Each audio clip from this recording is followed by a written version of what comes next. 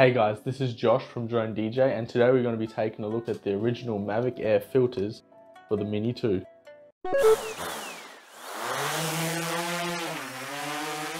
Okay, now getting into the video, let's test out the filters and see if they actually fit on the Mini 2. So first, let's just take a normal standard ND16 filter, put it on the same way you would the original Mini so you get the you get the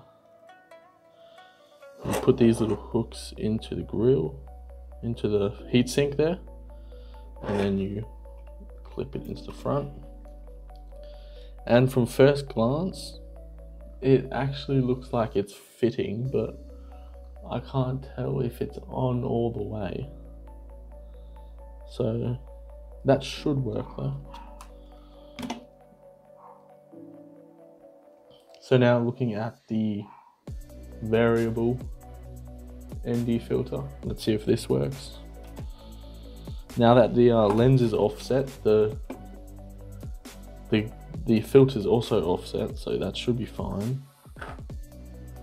Clip it in, slide it in front, and that one looks to be fitting fine as well. It's the same with, I'm not sure if it's all the way on, but it should be good enough.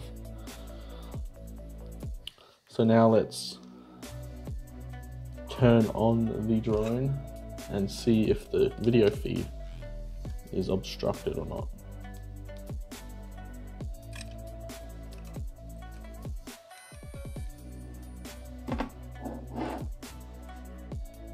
So taking a look at the video feed on the, the DJI Fly app, nothing seems to be obstructed and it looks to be working perfectly fine. So now that we have the filters on and they appear to be working properly, let's take the Mini out for a flight and see how they, how they go.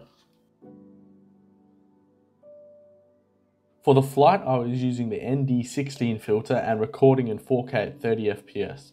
As you can see from the two minutes or so of footage I've captured, the filters look to be working perfectly fine with the Mini 2. While I was flying, the gimbal didn't have any issues and the drone was flying as normal for a specifically windy day. During the flight, I actually forgot that I had the filters on the drone, which to me is a good sign.